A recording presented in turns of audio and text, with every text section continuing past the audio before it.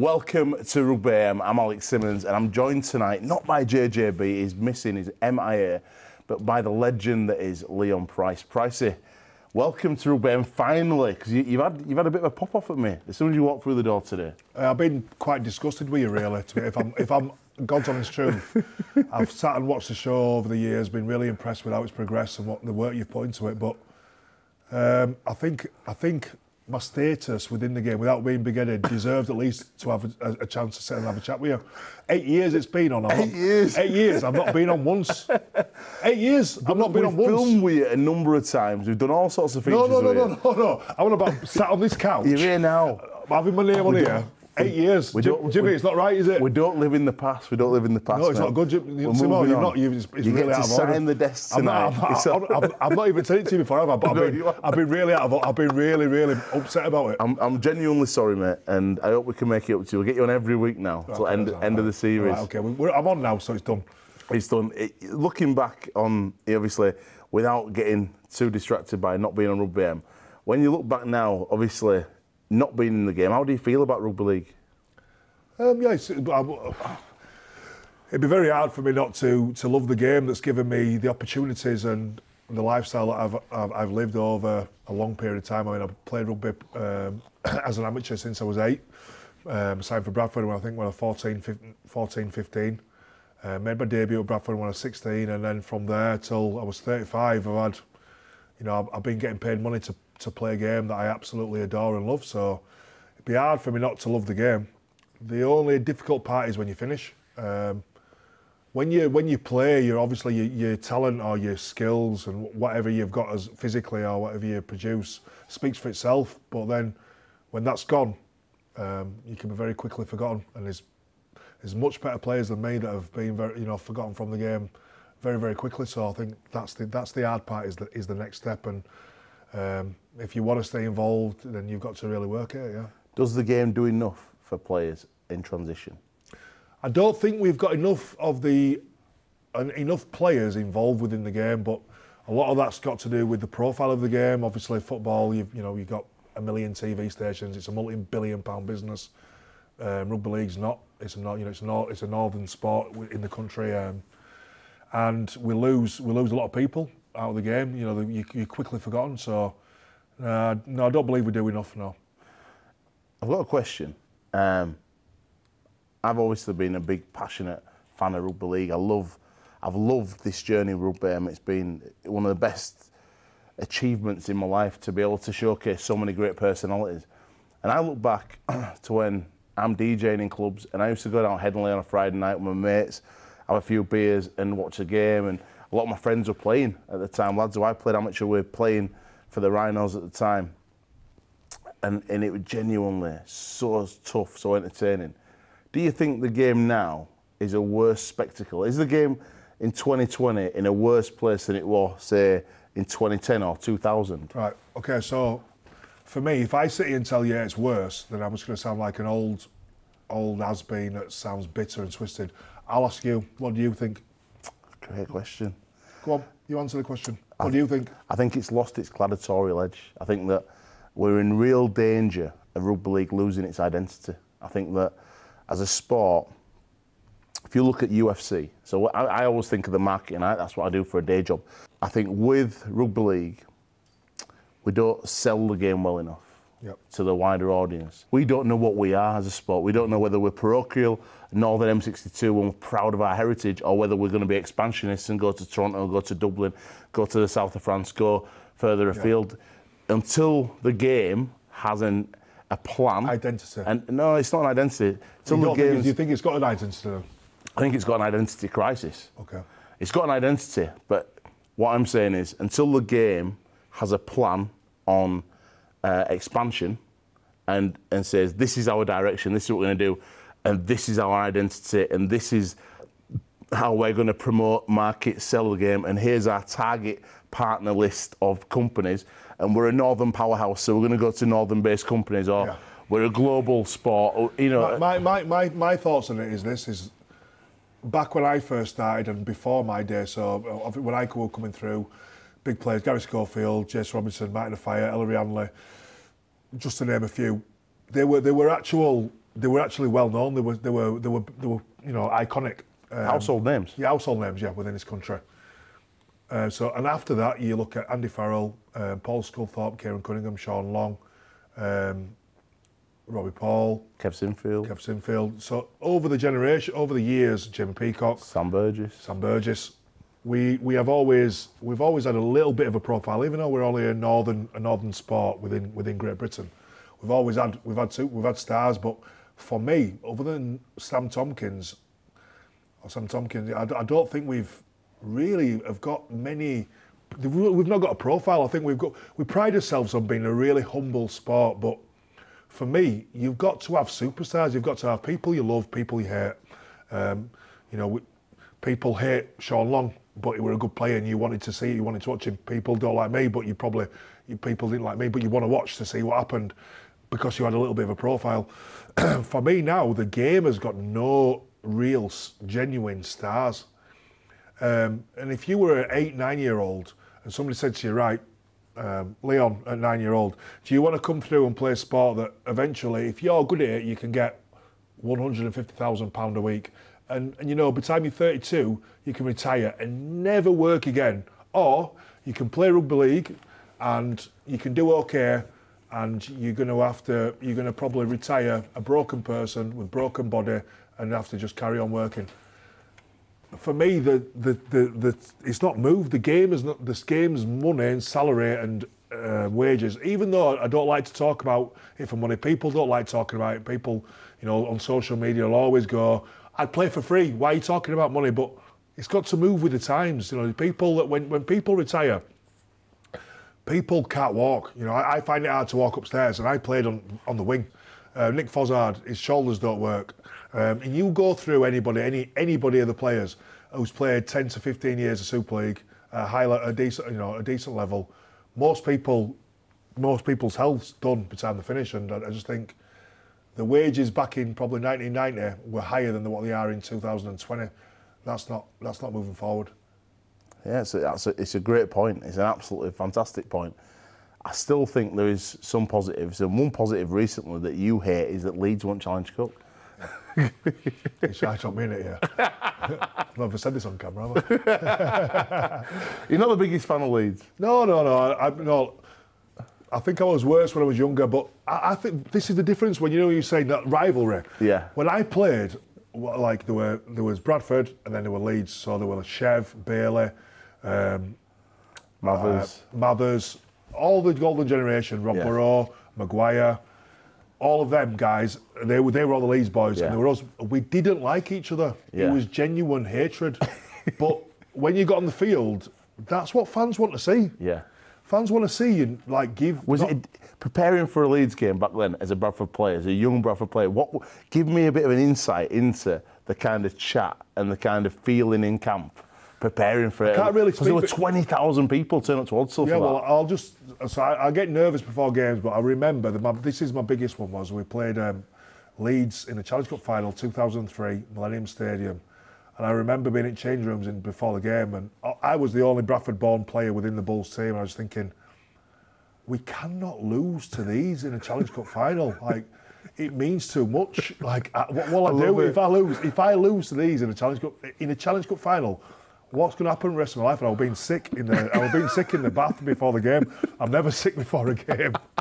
And uh, it was just a, it was just the thought of what, what will happen if I lose Leeds. But I'll tell you, when you retire, mm. that feeling that you that animosity you have towards the other it completely goes. Like, yeah. I've got a lot of respect for the way that Leeds run the club as a business and, the, and, and for the success they've had over the years, and that kind of edginess that you had with you know with players over the years, it completely goes and it turns into complete and utter respect because you've been there, you've done it, you've fought against each other, and you know you've got out at the other side. So when I have a bit of a giggle with you about it, yeah, and I have a, I play up to it a little bit, that animosity that you have when you're playing for me is completely gone. Yeah, and for me now it's I want to see the boys do well. I want to see Danny Maggs do well at Hull KR. I want to see, I want to see JP do well in his career. I want to see Bailey have a good life because it's a tough game, and I want to see the boys do well after one player who was like a, a young star, a local lad who, who, who, cut his teeth over at Bradford is Paul Cook.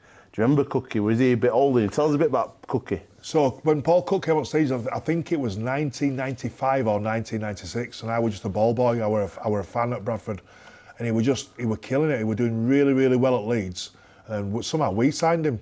I think he played for Great Britain. There were a lot. He had a lot of um, press around him at the time. I remember. Um, yeah, and we signed him, and he, he was fantastic. Yeah, he was re- he were a really big name back in Yeah, there. yeah, yeah. When he signed for Bradford, he was doing very very well. Yeah, so yeah, I've got not but not but respect for Cookie. Yeah, I thought he were a, a good signing, a really good signing for Bradford. Well, he's going to take us right now down memory lane, so check this out.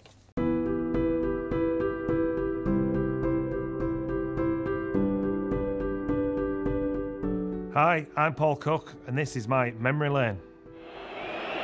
Not the easiest of kicks for a 19 year old. But again, not a breath of wind down there. Ideal for kicking at goal. Oh, and just look at that one. It goes through the post. The flags are raised. And Bradford are back in this game with a vengeance. So the, the Challenge Cup final in 1996 was um, a big event for me. Obviously, the semi-final beating my former club. Um, I was more nervous for the semi, only just leaving Leeds eight week um, before that. Um, so yeah, the Challenge Cup final was was a massive thing, getting through the semi, beating Leeds, and obviously getting to Wembley to, to play St Helens. Cook, oh, superb dummy by Paul Cook. He's looking for support on the inside. Well, does he need it? So yeah, when we got down to London, obviously I was rooming with Matt Calland. Obviously I was playing on the wing that game, and so he was just like me, just crazy and just giddy. So uh, yeah, it was a good roommate to have. And the nerves really did kick in as you pulled into the stadium, into the old Wembley, um, Wembley way, where the, the bus went went into the to the big doors were opened, and the fans were just banging on the, or both sets of fans were just banging on the bus. It was absolutely crazy, and you could see people you knew and that. Coming into the tunnel, I think was in the tunnel for about 10, 12 minutes after the after the song of the song of Abide with Me. So that's when he started walking out. But that was massive. You couldn't really see much of the stadium, just probably the top of the stadium at the other side where the Bradford fans was. But that was that was a long way, and that's when the, the, the nerves and the, the things really did kick in. That walk there to to line up for the national anthems and to meet the meet the people you was to meet was seemed like forever. The game went quicker than, than that did. Going into the game, um, Saints was obviously the favourites, um, but within within first 10 minutes of the game, Saints went into an 8 0 lead. Um, Steve Prescott scored a couple of tries, and yeah, it looked like we were still on the bus, or we were still looking for families in the crowd because we was 8 0 down at that time, and yeah, it was a it was a bit, bit of a bit of a struggle at start. So after that bad start, um, we seemed to get back to, back onto it pretty quickly. John Scales and Robbie Paul scored tries, and I'd kicked three goals, and um, within within the matter, it was like a game of two halves. Within the matter of, of minutes, we was 14-12 up, and that's the scoreline we took into the half-time break. Paul Cook then looking to keep his 100% record. And he does again. The accuracy is there. The ball is over the crossbar. Cook nonchalantly strolls back. But he knows that Bradford Bulls are in the lead for the first time in this match. 14 points to 12. So yeah, half time was was pretty was pretty good. Obviously, Brian Smith, one of the best coaches I've I've played under.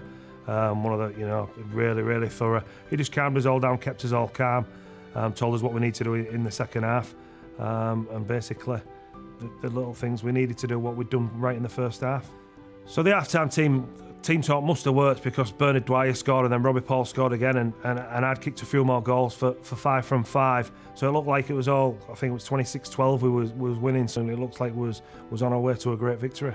And two tries from him already. Paul Cook, 10 metres in from the touchline, right footed. Oh, he lofts it high and nothing's going wrong for, uh, for Paul Cook. The fists are raised in the air. So from being 26-12 up and, and going in, everything's rosy, um, and then all of a sudden the final, what the final will be remembered for is the, the three kicks up in the air uh, within minutes from Bobby Goulding, and obviously going it from that to, to, to being down um, 12 to 14 points.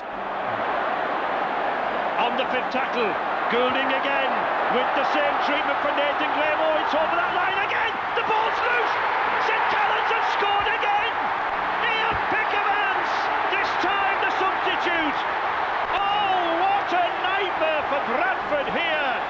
So on the back of that, uh, back of coming off them three bombs, Robbie Paul went and scored his hat-trick try, um, which was was, was was was great.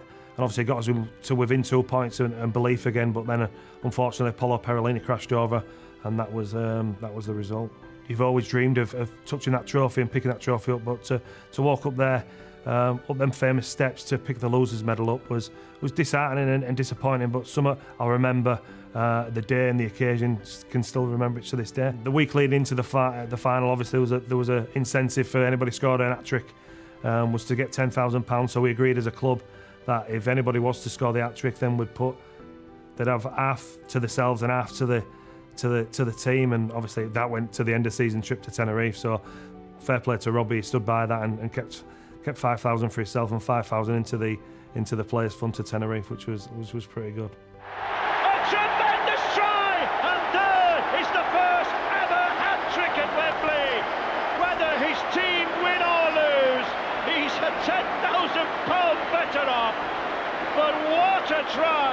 So I did get another crack the, the, year after. The same two teams got there. This time we was favourites because we was undefeated in the Super League, but unfortunately Saints um, won that game uh, pretty much easily um, that day, and, and, and, rightfully so. They was the best team on the day. But to play at Wembley in, in two Challenge Cup finals was always a dream in front of 78,000 people. Was was was a magic and a dream come true. I'm Paul Cook, and that was my memory lane.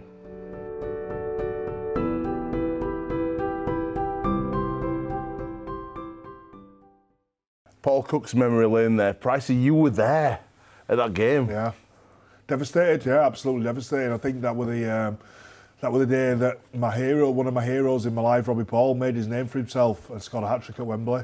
Um, so that was a, good memory, even though we lost. Um, yeah, it's, it's, fond memories, you know, you, when you're a 14, 14 year old kid watching your hometown team in a, a Challenge Cup final. It's brilliant great Adrian Morley story as well, but we'll, we'll ask Moz to tell that one day on the show. Absolutely superb.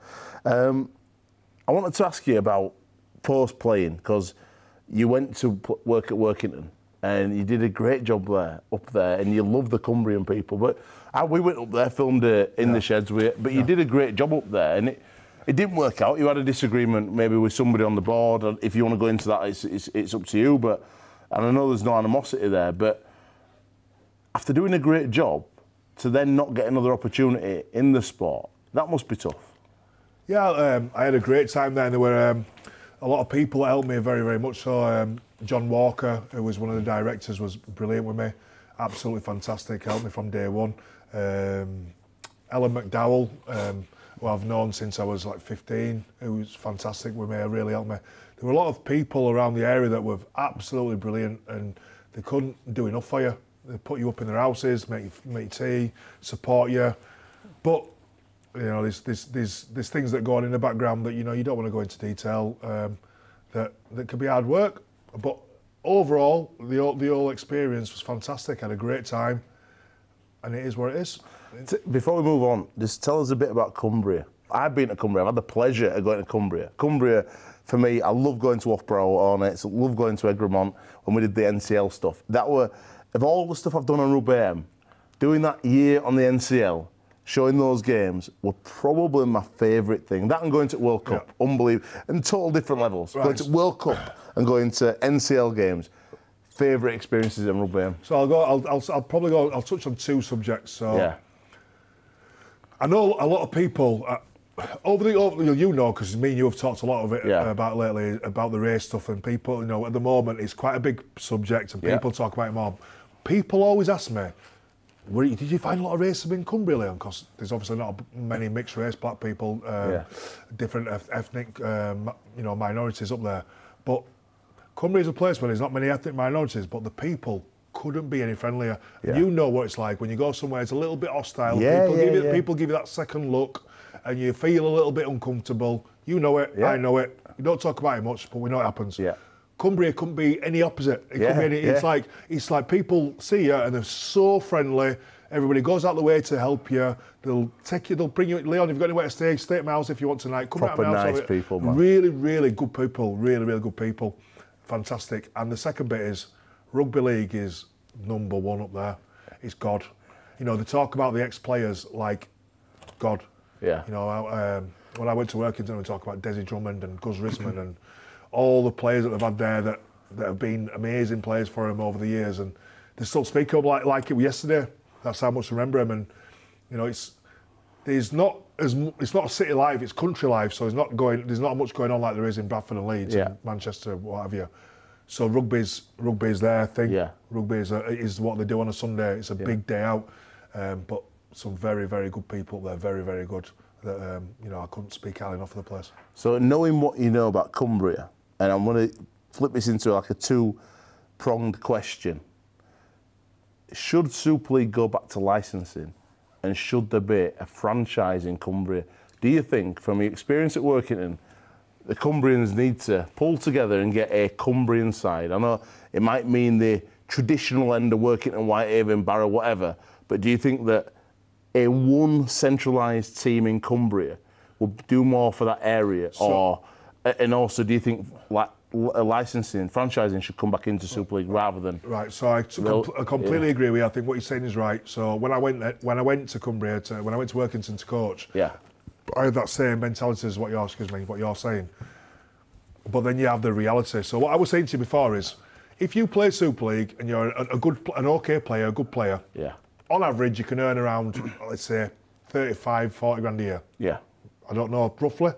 Mm, maybe a little bit more, Maybe a little bit more. 50. 45, 50. Yeah, 45, average 50. Super League player. Average Super League player, Yeah. 45, 50. Them people that work up there, a lot of them work at Sellafields, Yeah. which is a massive company. A lot of them guys are already earning around about that Yeah. money, if not more. Yeah. So for them to lose a job that they can have for 30 or 40 years Yeah. to play for, to do a job that they can have for 15 five years, years, max. six years, Yeah, they don't they don't care. yeah, You know, they're not they're not overly fussed about playing full time rugby. Yeah, They've yeah. got a couple in Super League, that's it. Is that why they're so good? Amateur teams are so good up there. Yeah, because they all stay amateur. They've got they've got careers. They've got they've got a pathway of a, st- a stable income. I couldn't believe how, how good some at Wathbrow players were. When I went to watch Wathbrow Hornets, the It's- first it's, team, It's like a professional setup. great, great players like, Like, people up there, kid, we- Carl Dixon, centre, We were trying- unbelievable player. We were trying to sign players when we're in my second season at um, Workington, excuse me, and they wouldn't leave because they wanted to do a Great Britain Barla tour. Now, down here, nobody even talks about Barla. Yeah. If somebody said to you, you want to go play for a Keighley, or you want to, you, yeah, of course we'll play for him, but they wouldn't sign for you because they wanted to go and do the Barla. Yeah, yeah. But they can do that because it's you know they, they hold it up here because they, it's good for them to stay amateur. The amateur setup's as good as nearly as good as a semi-professional. Yeah. Um, what, what, what's your thoughts on, on the promotion, relegation, Super League situation? Obviously, would you like to see return to licensing? How, how do you see that work? I don't, I don't know, Timo. I don't know. Um, I think it's six or one, half a dozen of the other. I think um, I love the excitement of relegation, Yeah. but I also enjoy a, a, a club um, having the opportunity to build over and not have the pressure of being relegated. I like um, like Catalans over over the years have been a real massive bonus for for Super League, haven't they? Yeah. I think they were exempt from going down down for five six years, were Yeah. Yeah. Yeah. Yeah. yeah. they? To give them time to build. I, I, You've been there. Yeah. How good is it, Catalan? it's the best best experience of my life. Is it better than any any other club? No, I love Saints and Bradford are my best clubs, but um, The experience. the experience. You're living in south of France, I had a beach. A bit, the beach was 500 metres away from me. I had a golf course in my back garden. I, uh, I had a golf course 200 metres away from me. I had a swimming pool in my back garden. We had you have sunshine, two, 250 days a year. It's, it's amazing. Yeah. You get paid decent money. It's amazing. It's a it's an amazing experience. Bernard Guasch is a good man. Really looked after me. Really good with my family. My children, both my children were very very young. They both learned to speak French. My, my son still speaks fluent French now. Got got an A in his exams in French. I went to watch Will play for England against France, and he's stood there talking to all French boys, fluent French. I thought, how amazing is that? It's amazing, isn't it? Yeah, it's amazing. Like, if you, I- you do nothing, you can't speak Oh, word. I can order food.